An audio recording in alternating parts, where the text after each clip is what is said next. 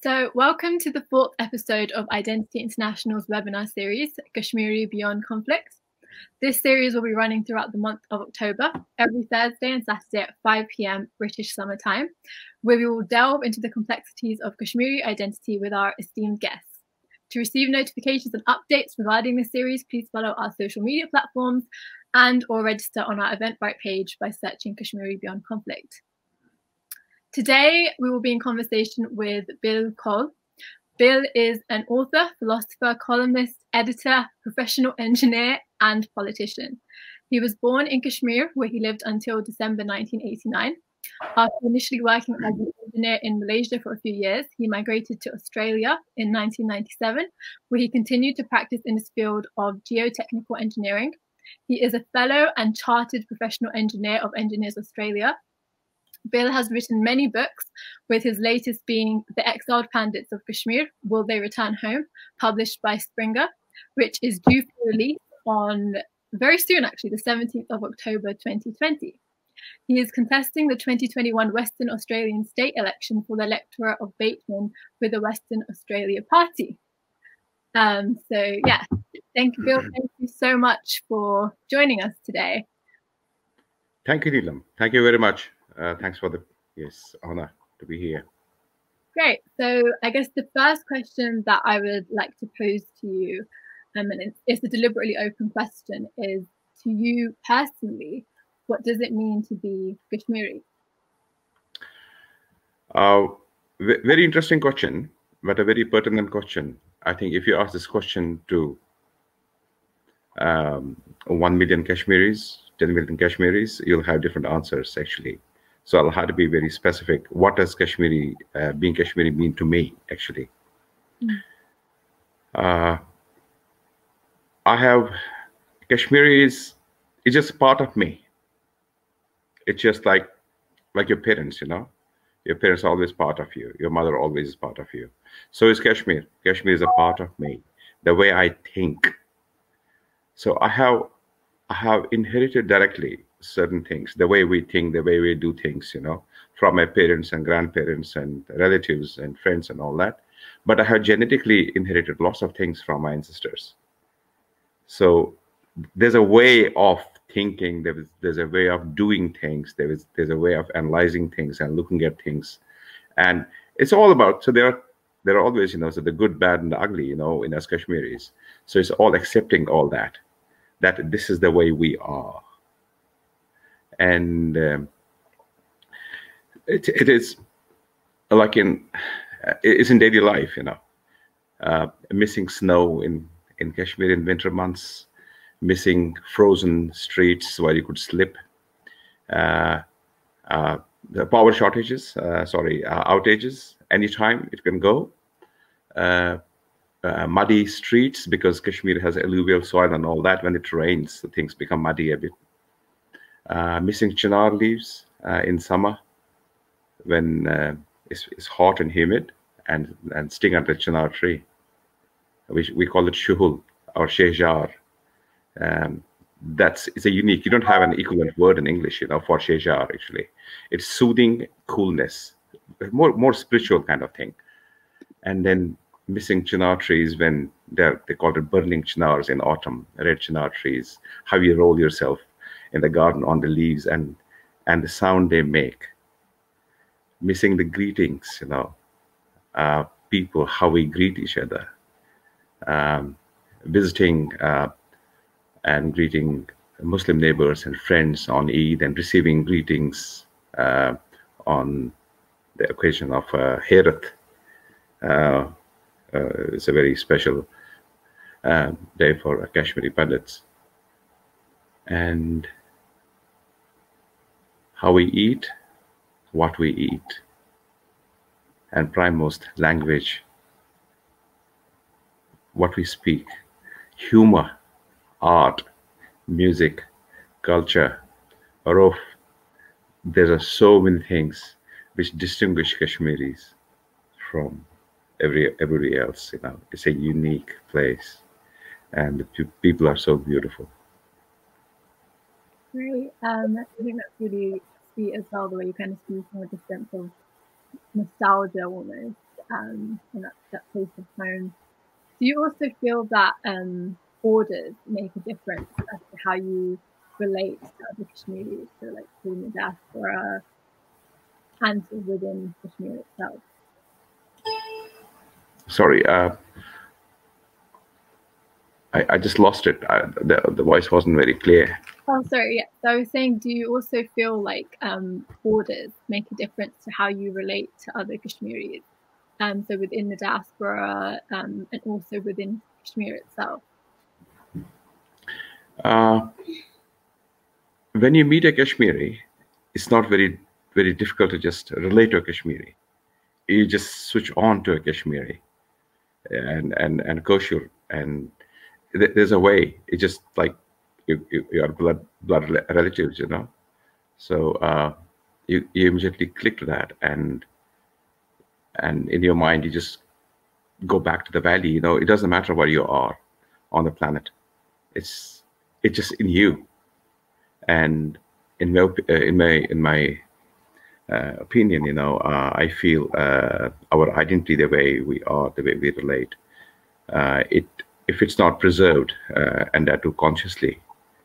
Uh, because um, in this world of uh, globalization, people are spread across the world.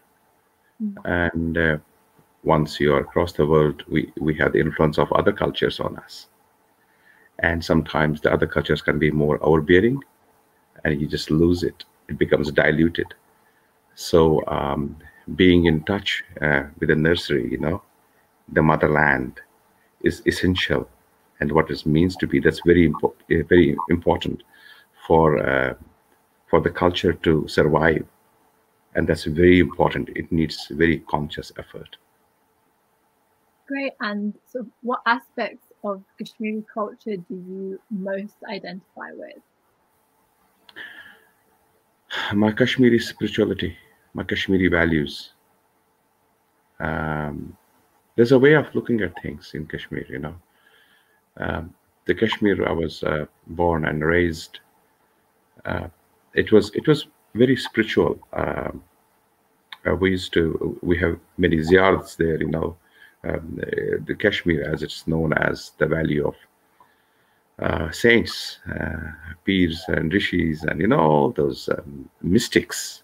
The, is, is full of that, and and in Kashmir, you know, there are many places, um, uh, Dastgir Sahib, you know, Rishpir Sahib, and you know, you have uh, so, uh, and there are there are stories behind these these mystics and rishis and peers, you know, and people, all people from all backgrounds uh, would visit and uh, and pay respects and ask, you know, whatever pray, you know, just and then you fulfill it.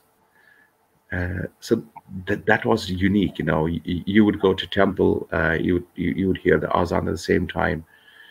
It, it, was it was a very unique culture. The Kashmir I have I was born and raised. Um, oh, we used to live in the downtown Srinagar, uh, where you have predominant Muslim population, um, and uh, the brethren, the, the, it, it, it was different, you know, the whole environment was different. It was a beautiful tapestry of culture, same culture, uh, but a slightly different way of doing things, but but the way they were interwoven, it was it, it was very very beautiful, which which I, which I really miss um, as time goes by. I really miss that. That the Kashmiri values. Any Kashmiri mother, you know how, how she greets Balai Lagai. It is it is um, a mother, Pandit mother or a Muslim mother. The mothers, how they embrace you, you know, it doesn't matter. Mm. Uh, I remember when um, I was married, and you know, uh, we had moved to a different area, a newer area, and uh, our uh, neighbors from the older area they came they were all muslims you know. And i remember you know our next door neighbor you know and then how she she was wearing a burqa and how she ran and she cried and and she gave me a hug and you know the first thing is balai lagai means um, it, it's just like what you say to to your own child. And uh, that was that was at that low that that low uh, which uh, is not anywhere you know it, it wasn't artificial Kashmiris were never artificial. They were just genuine, a bit rough around the edges, but they were, they were, you know, and not to show. I mean, everything was Sufiana. The clothing that we used to wear, you know, the shades of earthy colors and all that. That's Kashmiri, original Kashmiri. Uh, Kashmiri shawls and all that. So we would seldom see colors like red and blue and all that stuff. It was more earthy. Sufiana. That's how it, was the Kashmir for me is that. Great. Um, and I guess that kind of leads on nicely to, I guess, the other question, the way you're saying you kind of miss the way things were and and that sort of togetherness as well. Um, so in that regard, how do you feel like the conflict has also shaped your Kashmiri identity or impacted on that? Uh, the conflict, yes. This, uh, this is this is this is very unfortunate. What happened? Our identity is at stake actually with the conflict. Uh, the people who have left Kashmir, both uh, the Muslims and the Pandits, don't, don't be confused. The Muslims and Pandits are not two different people. They're same people. They are same same people, you know and uh, it's the same same DNA, same background, same genetics. There's nothing, no difference, except um, and and and and when I, when I come back to Pandits and Kashmir and, and Muslims, uh, when you say Kashmiri Pandits, you know, they don't have much resemblance with the nearest, you may call it Hindu. The word wasn't existing, it's a new word actually. With the, the Jammu Dogras, there is not much common between Kashmiri Pandit practices and the Jammu Dogras. Even the names are different. What they call Shivratri, we call here, but we different celebrate differently. You know what they call Janmashtami, we call Janmasatam, which is different, different day, different um, philosophy. So even the practices are quite different. So uh, uh, this is a unique Kashmiri Pandit is unique. It's unlike any other um, what you say Hindu of India. It's it's different different practices primarily Shaivism, which is right from the past. And Shaivism was very compatible with Sufism, very compatible. And now, after this conflict, now that many Kashmiris are out of Kashmir and Kashmiris who are living in Kashmir, Kashmiris out of Kashmir, for example, I'm in Australia.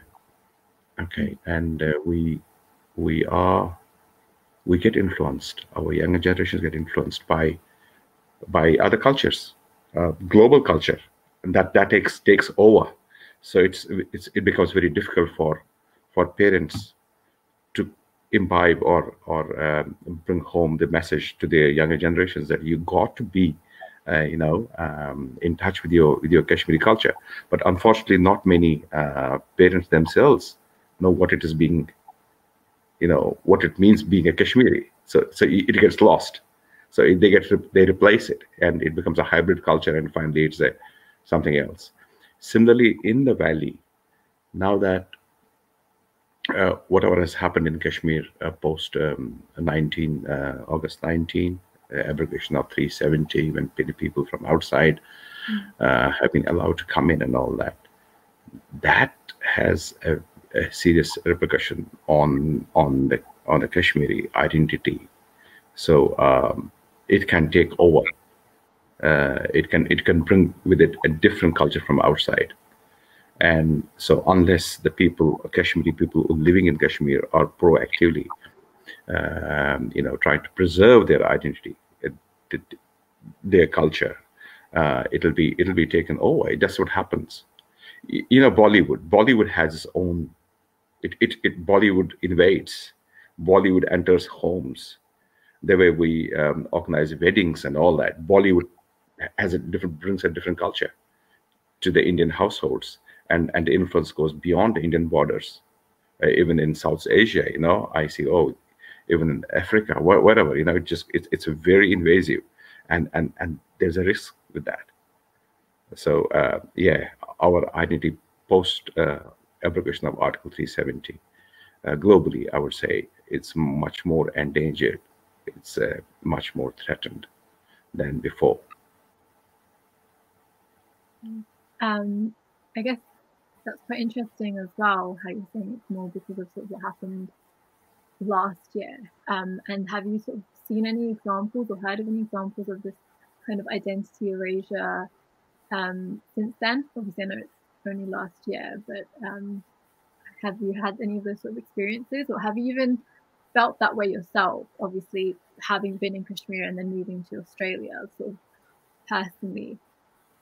Well, look, you know, uh, I have not myself experienced, but I, um, you know, how do I how do I write? Because I observe, I observe, I think, I contemplate, and I always think about the future. Um, the past is good to look at. Past is good to learn from, but past should not, you know, bog us down. It's always the future you have to keep in view. What's going to happen in the future if this keeps on happening like this? there is a, uh, for example kashmiri pandits okay who are who are out you know um, mo most of them i don't know 20 30000 kashmiri pandits could be still in kashmir and many are living in jammu uh, and most are everywhere else uh, there is an attempt to call them kashmiri hindus uh, okay now this is this is a new term for for me because a Kashmiri Hindu doesn't mean same as a Kashmiri Pandit. And even in Kashmir, Kashmiri Pandits would not be called Kashmiri Pandits. They should be called Bhattas. Koshur Bhatta. So, so in colloquial, in, in daily colloquial, Bhatta is a Bhatta. Bhatta may be coming from the Sanskrit word of Bhat, means a learned one. So Bhatta. So Kashmiri Bhatta then became in government records, it became Kashmiri Pandit. And now it is changing to Kashmiri Hindu. So when it's becoming Kashmiri Hindu, and some Kashmiri Pandits themselves also try to call them Kashmiri Hindu, it makes something different. It's a it's a, it's a different thing because I don't see myself. I don't have any like the, the Hinduism. If I to the extent I know, um, it doesn't have one book. You know, do this and do that. There's no one. It, it is a way. It's a way of life. Okay, and a person from Maharashtra will be different from UP, different different things because um, it, the practices are very you know social practices and all that. They come into this and they are not actually religion. They are more uh, social practices. So okay, making it a Kashmiri Hindu uh, makes it a bit different than being a Kashmiri Pandit because Kashmiri Pandit meant something else. It meant something else and uh, it, it came with uh, with a lot of tradition uh, you know, for example, there are a lot of Hindu practices which Kashmiri Pandits would not follow, but now they have started following that also, and that will be fine if you add to it. But then you look at it, you know, what about your own practices? Are you following that? Oh no. So they have shifted. So they are becoming more like the other Indian Hindus. So Kashmiri only becomes and remains a name, uh, just a name. That's all. So that's where the identity part comes into play. It's just almost gone. It's just a name. Uh, what does you ask them? You know, you're a Kashmiri. How are you Kashmiri? Can you speak Kashmiri? No, because I feel shy. My parents don't speak Kashmiri with me. They feel shy.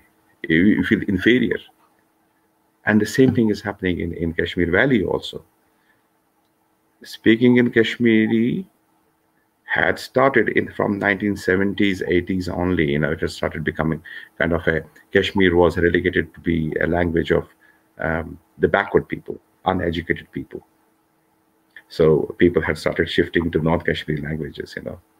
So although the medium of education was in english uh, predominantly and but then people at home the children at home would speak not kashmiri the, those who would go to english medium convents and all that. They had started speaking something else at home.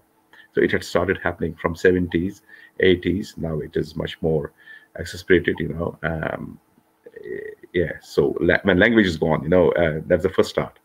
Can you speak Kashmiri? No, I can't. What do you know about Kashmiri? For example, Kashmiri Pandit cookery, you know, traditional Kashmiri Pandit cookery has no tomato or onion or garlic or anything else. Even damalu, it has nothing. It, is, it doesn't have any Kashmiri damalu. It doesn't have uh, tomato or garlic or um, or uh, you know um, garlic anything. But now if you say, oh, it's Kashmiri damalu, you go to a shop here and it will be having all those things, which is just like any other potato. It's not a damalu. Thank you. That was that was really interesting and insightful as well. Um, and I think sort of talking more about sort of being Kashmiri Pandit and your identity with that as well.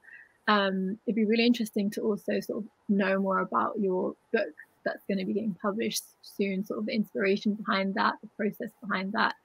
Um, because it's it's called Exiled Pandits of Kashmir Will They Return Home? Um, yes. Great to hear more about that too. Yes. Okay, you'll be surprised. This is this is actually my fifth book. I had submitted this book uh, to the publisher on the day 5th August 2019 morning, 5 o'clock. It was submitted. And then that day only, Article 370 was abrogated. In the book, in the original version of the book, I had, because some pundits, I would visit India four or five times a year. So my interaction and also go to Kashmir. I used to go to Kashmir two, three times a year, and I was trying to get more reconciliation for Kashmir and I had managed to get a good deal of understanding um, with, with, with people from both communities and with pundits who are living in Jammu and camps, and they said, "We want to go back to Kashmir. Are you afraid? No, we are not afraid. We want to go. We want to go. We trust. We trust our Muslim brothers more. We want to go. Only need we need some uh, some kind of accommodation, some sustenance, and all that. And and Kashmiri Muslims also. Same way, yes, we want to have Pandit brothers back. So I was getting, you know, so I wrote this book. Uh, I started this book sometimes in 2019, February up to August, six months. I really worked hard to make a platform because it provided a philosophy. Why should Kashmiri Pandits who want to go out of their own volition and for all good reasons, right reasons, go back and why should uh, Kashmiri Muslims receive them and help them in settling down? Why does Mother Kashmir, we call it Merge Kashmir, why M- Mother Kashmir needs all her children to be complete for her progress, prosperity, both sides. And this is a philosophy. And I submitted on the morning. And in this, because some some pundits, uh, not from Jammu, not from not these camps, thirty thousand people, other people. Oh well, when Article three seventy is abrogated, we can go. Sorry. So, and I made a I made a um, um, argument there. What is Article three seventy? Can it be? Can not be? Should it be? Should it not be? Sorry, I just um, it's, it's my dry cough we don't have any COVID here uh, for last six months in, in, in Western Australia. And uh, but I have been because I have been speaking with people during my election campaigning and all that, so I get this sometimes.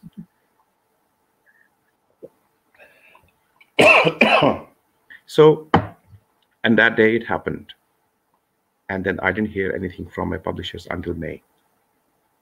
In the meantime, I wrote one more book, a bouquet of random thoughts that is my number six, a bouquet of random thoughts, conversations with myself. in that also, I have spoken about Kashmir. There are sections in about Kashmir. There's a section about politics. There's there's an argument why why India and Pakistan should become friends. There is a section on uh, Prime Minister Imran Khan of Pakistan. There's a section on Prime Minister Modi of India, why they should join hands, and you know lots of things about Kashmir. So I've written a lot in that that got published. And then I went straight to there's a there's a book I wrote co-authored with uh, a noted author of uh, India, uh, Vijay Shankar, the Charm Triangle: uh, Religion, Science, and Spirituality. so sorry. In that also, Kashmir is there. In one form or the other form, Kashmir is there in that book. That got published just about a month ago. During COVID days, I started a book on we humans, which I finished in July. It's a 350 page book, We Humans, and how we behaved during the initial 100 days of COVID, our good, bad, and the ugly. It, it mentions Kashmir. There's a chapter on Kashmir in this. Each, so there are, I have two books on Kashmir and in the remaining books, there is either a full chapter or there are sections on Kashmir. You can't get Kashmir out of me, uh, away from me. Sorry. So yeah, so we humans uh, is is a reflection on us, and as I say in that book, you know, this book is for for humans who are not born yet, and they must know how we behaved, even even even during COVID, even during pandemic, when we should be all together, and Kashmir has not been in peace. It's not peaceful. No.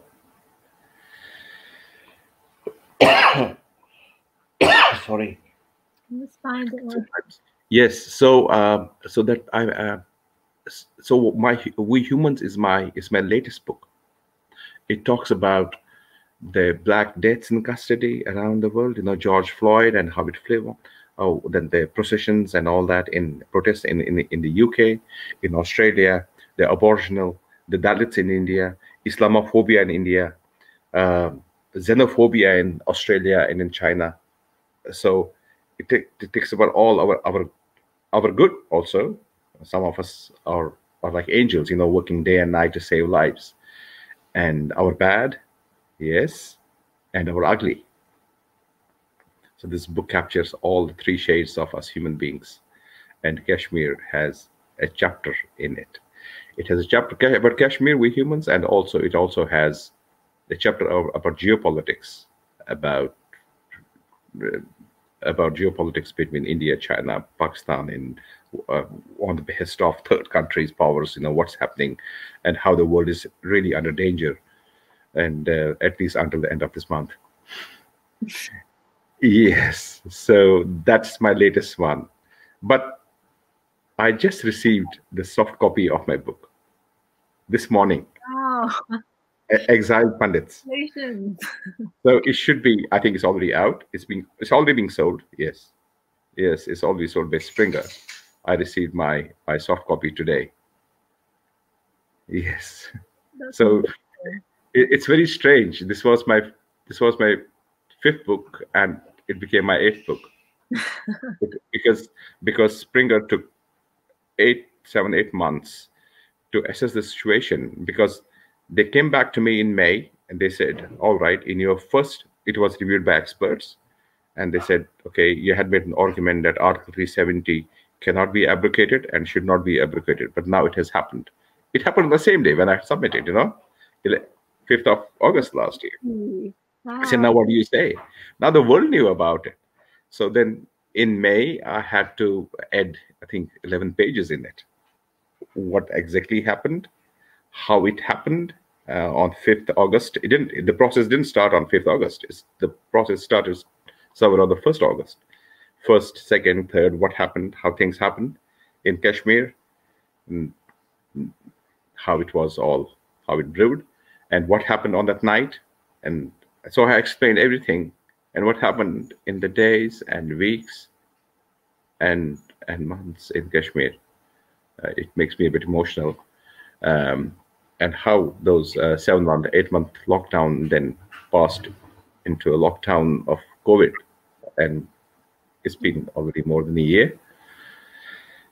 And and the world doesn't know about it. So I I speak whatever I speak. I have I have been lecturing on Kashmir here in Perth, you know, in various gatherings. Mm. Mm, and when I ask people, "Do you know what happened in Kashmir?" Uh, no, I said, this happened in Kashmir. Oh, is it? I said, no, yes, this happened. And you people don't know about because the world doesn't talk about it because there are political, economic interests, you know, and then people don't speak about it. And this is exactly happened. This is how it happened. And uh, so uh, that, that that that that's something which which which weighs heavily on my mind. Uh, it, it's not it's not what happened actually. In, I, I, live in a democratic country. You know, the democratic uh, the, the, democracy index of Australia is in the top is the top democracy, not the top. You know, in the top ten countries. Mm. So here, anything happens by consensus and by consent. You know, by referendum. Um, it, it, it can't be it can't be a surprise to the world, and uh, so uh, I expect a similar process should have been followed in, in, in, in India also, in Kashmir also, and not um, uh, if, if people would have been happy with it, if there would have been consensus in a referendum or something, okay, should we abrogate Article 370 uh, dialogue, then not a problem with that. But the way it happened, it's the way it happened that really uh, raises uh, a million eyebrows. Uh, and it's, it's, it's, the way it happened. What happened? If people would have been happy with that, not a problem with that. But then there are many states in India where you have you have a, a special status, you know, Nagaland and all that stuff, you know, under different sections of Article 3, 371D something. So, uh, and the shocking thing was then the state was um, downgraded, it was bifurcated, and it was all done without the dialogue uh, yeah, about consultation with the people who live there. So it's the way it happened, which which raises a million eyebrows, maybe a billion eyebrows. We are eight people billion on the earth i would say yes. Yeah that's so that it really endangers us uh, kashmiris because we may not remain the same. And also kind of um, building on sort of what you were saying when you were sort of talking to sort of peers in australia and trying to even talk about the situation um, how have you felt in general trying to navigate um, through places like Australia and things like that as a Kashmiri, as someone who's so passionate about what's going on there. Um, has it been quite difficult to get that like awareness and the message out more? Uh, no. Uh, okay. No. Um, uh, mainstream Australians, know. I mean, because they don't know because it's not being talked about. You know, our media doesn't talk about it much so they won't know. But once you speak with them, and uh, and if they they will listen to you, and and they also raise their eyebrow, you know, and that's how Australians are actually. Uh, but then, if you speak with uh, with Australians of um, Indian background, so there is a mixed reaction about it. Um, some some Indian Australians, you know, they have welcomed Article 370 because when you ask them, do you know what it means and all that, they don't have the idea. Many people have been given to understand that Kashmir has been now conquered. There was Indian flag never flew there. It has been now conquered. It was something about the history, what happened in 47. They have no idea. They have no idea about the history of Kashmir. They have no they have no idea about how, uh, why Article 370 was there. They have no idea. So when you when you educate them, they will listen. But there are some people who don't want to listen. So once you engage with them, once you tell them, no, no, there was a reason. This was the reason. You know, uh, uh get them back to history because people don't read people don't read. They will just believe you whatever you tell them and that comes through whatsapp. So whatsapp machine is there. It's a propaganda machine and uh, people believe oh yeah okay yeah. Yes now we have one kashmir. It's our, ours. So engage with them. Engagement is very important. But mainstream australian uh, once he knows or she knows and then yeah there is a well it's not it's not right what happened in kashmir. But people are beginning to know what happened in kashmir so, so it it it comes down, boils down to each one of us, Kashmiris, to do uh, her or his part in in educating the world. You know, what who we are, how we do things, and and about our Kashmir. You know, this is this is it. Uh, so it comes boils down to us. You speak, you write. What else you can do? Because after all that's how we Kashmiris have always been doing. you have to you have you have to educate the world about yourself and about Kashmir. Great, thank you. I think that was quite a powerful um, last statement as well, and the importance of just raising awareness and speaking about these kinds of things. Yes. Um, thank you so much for joining us today and giving us your incredible insight and even sort of learning about the journey of you getting submitting this book on like August and that whole um, journey from there until now. Um, I will definitely be on like the lookout of purchasing your book and the We the Humans one as well. Sounds super interesting. Um, we'll add the links um, into the bio and things of this video as well for anyone else interested. And um, thank you to our audience um, for watching. Our next episode will be on Thursday at the same time. Uh, we will be in conversation with academic Dr. Mohammed Junaid. Um, thank you again, everyone, um, from Identity International. Thank you.